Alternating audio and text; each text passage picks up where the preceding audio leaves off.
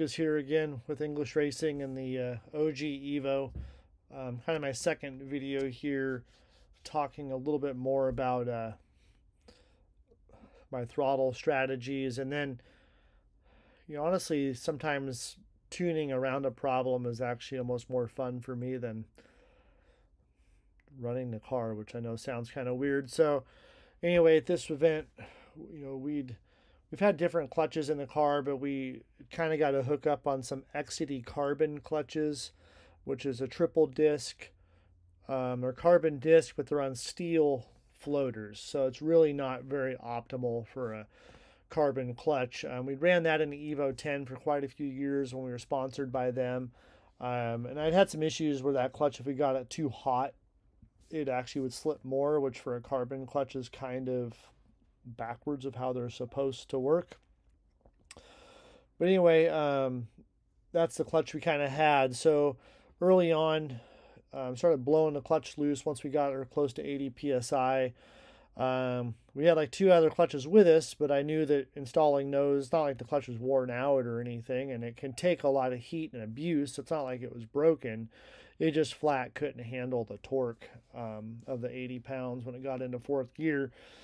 Um, so at that point, I just knew that, um, you know, I just needed to maybe a, t- a tune around this problem, and I was going to have to just uh, live with what I had. Um, so on the first pass here, where I finally got the boost pressure, you can see here at 80 pounds. Um, you can see one of the issues on this car too is um, because it boost creeps so bad, the wastegates are actually open because I'm not actually running that much wastegate duty. So it creates a hell of a boost drop on the shift. So, um, so anyway, after this pass, the issue, other issue here was also my gear calculation. There's a tolerance number, and if that number's bigger, I mean, it won't fall into default. It'll either just still stay in the same gear or it might switch to another gear without going default. So at this point, you can see I went into fourth. Um, it locked into fourth gear on the estimate like it should. And right here on the clutch blew loose, um, it says it went into third gear, which obviously wasn't true. And then back to fourth gear as that clutch is still uh, being annihilated. So at this point, I um, decided to I lowered the tolerance number so it would be more sensitive to fall into what they call the default. I also then went a lot of little changes. This is the the pass after this was the um, this was a seven nine, and the pass after this was um, the personal best of a seven six. So I did a couple little things like on the um, so this is here is the this tolerance ratio. I think it was like a 1.2 or 3. I lowered it to that 0.1. This makes it more sensitive and to just I actually wanted to get lost and not knowing what gear it is sooner, so some of my strategies will work. Um, and then I also did a boost. Let's see if I how fast I okay boost speed limit. So right when the clutch blew loose, actually in this range, I kind of got this table had never been populated. But I populated this table to kind of knock the boost down right when that torque area was when, when it went to boost creep there. Um, and then, so I did that. There's a couple other changes I did. I don't need to go into all of that. So then on the next pass, um, see how good we are. We can overlay this. So we're going to overlay that. And then we'll triple graph it.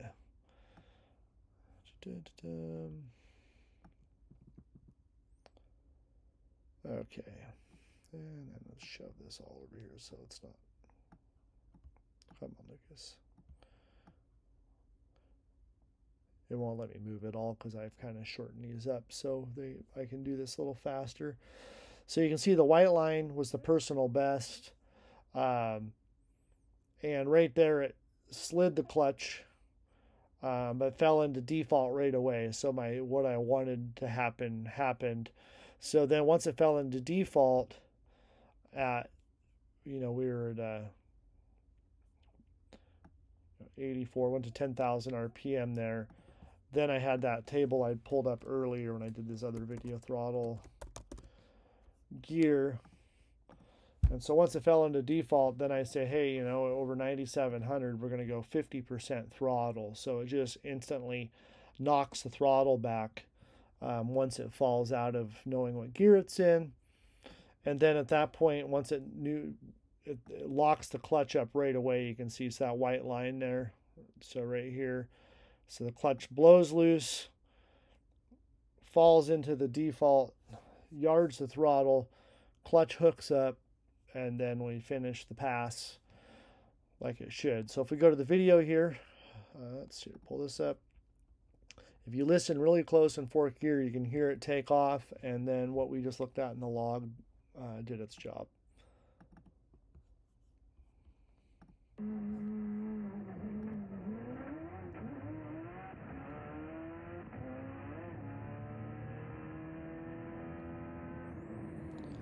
And we'll do that one more time.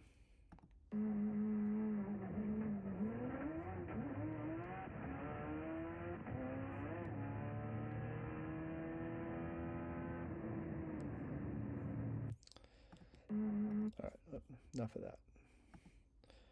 All right, so you kind of heard it blow loose. You saw the shift lights come on for a second there in fourth gear, and so um, let's get rid of the clutch blow loose pass.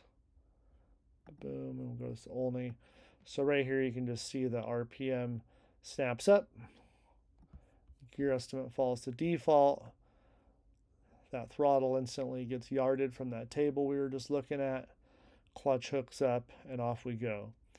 Um, of course, I got that brake switch issue figured out. So this car, you know, actually, you know, it's not quite as cool as Miles's car, but in that pass, you know, we only did do a uh, you know, right there, it's a 60, no, 60, 80 mile an hour front wheel drive burnout, but it's better than 120. And then, of course, it's only for a split second and um, in first gear. I also had cranked the ACD pressure now to 165. Uh, but you can see here the front right tire um, keeps popping loose. So this is where we're com I'm compelled to hopefully run a little more of the ACD pressure, what's going to get the rear end of the car working harder. We're also going to put a little bit more weight on that right tire and look at the quarter balance on that tire. Um, I also started targeting more boost, so you can see in this one on my record pass, you know, we're 60 pounds on the top of first, but you can look at this throttle position. The throttle position is 50, even down to 45. So this is kind of how I'm main keeping control of the powers with the throttle. Um, shift into second, um, and we have a pretty good little loss and boost there. Um, so the throttle comes back around, and then we're pretty much the 56, 60% throttle through second. And then as soon as I get into third, then we get full throttle the rest of the way. And then, of course, we see the throttle chop. But my this boost curve, I'm still not happy, but once I get this wastegate duty where we're actually running 60 70% wastegate duty continuously, which will probably be close to 90 pounds of boost, um, it should start flattening out this boost curve a lot better. So, anyway, this data gives me a lot of hope for this car to go faster um, and uh, hopefully to do it scientifically without just throwing the kitchen sink at it every pass. And let's go back. Let's watch some more videos here. Let's see. So let's see.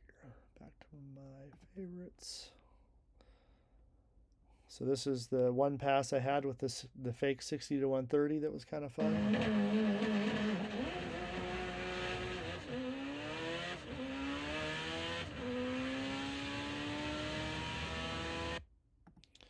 And then this is the pass with the clutch blowing loose.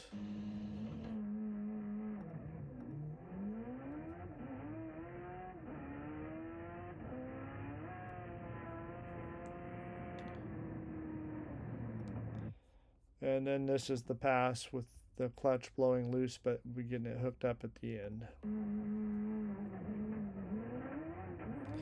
And too bad I can't cut a light.